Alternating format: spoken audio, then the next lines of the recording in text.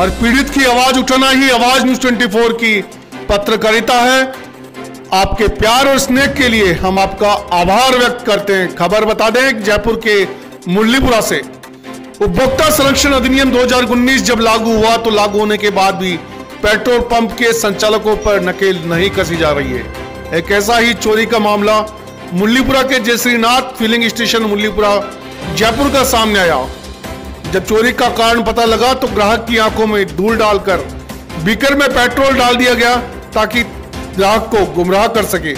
लेकिन चोरी की हरकत सामने आ गई और चोरी का पूरा मामला खुल गया। देखिए हमारी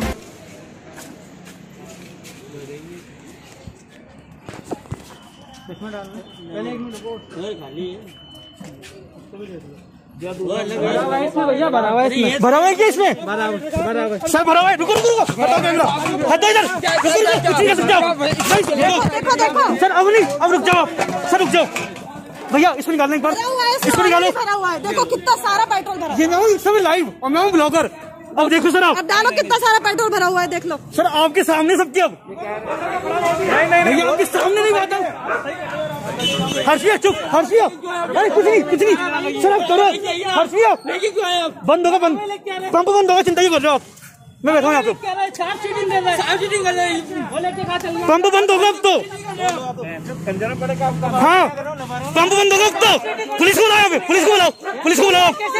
है? पुलिस को फ़ोन करो। सर क्यों करूँ मैं ये चैन? रोज होता मेरे साथ पुलिस को ना आप यार। मैं बुला तो आप देखो भी। सारा प्रूफ है मेरे पास। भैया आप फैमिली का जाना।